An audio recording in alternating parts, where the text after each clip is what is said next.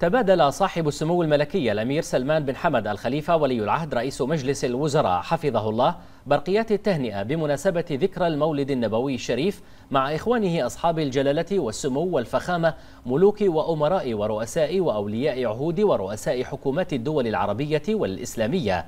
ضمنها سموه خالص تهانيه بهذه المناسبة المباركة وتمنياته لهم بموفور الصحة والسعادة ولدولهم وشعوبهم الشقيقة المزيد من التقدم والنماء. داعيا سموه الله العلي القدير أن يعيد هذه المناسبة المباركة على الأمتين العربية والإسلامية باليمن والخير والبركات.